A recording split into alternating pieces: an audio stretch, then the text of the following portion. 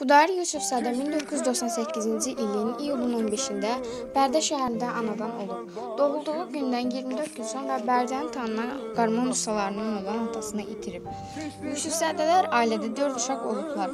3 qardaş və 1 bacı. Xudayar Yusufzadə ailənin son beşiyi olub. Bərdə şəhərində Bülbül adına bir nömrəli uşaq incəsənət məktəbini bitirib. Subay idi. Azərbaycan Respublikasının Dövlət Təhlükəsizlik Xidmətində müvəqqəti hərbi xidmətini bitirdikdən sonra sərhəd qoşunlarında gizir kimi qulluğa başlayıb. Tovuz döyüşlərindən sonra könüllü olaraq döyüşmək üçün müraciət etmişdir. Kəlbəcər, Cəbrayıl, Zəngilan istiqamətlərində olan döyüşlərdə iştirak etmişdir. Zəngilanın Abənd kəndinin azad olunmasında şücaət göstərmiş və orada yaralanmasına baxmayaraq düşməni məhv etmişdir.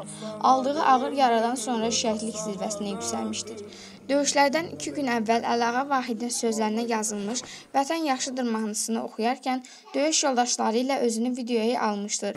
Həmin video sosial şəbəkələrdə trendə çevrilmişdir. 15 dekabr 2020-ci ildə Azərbaycan Respublikasının prezidentinin sərəncamları ilə Ölümündən sonra ona Azərbaycan bayrağı ordeni və Vətən uğruna medalı ilə təltif edilmişdir.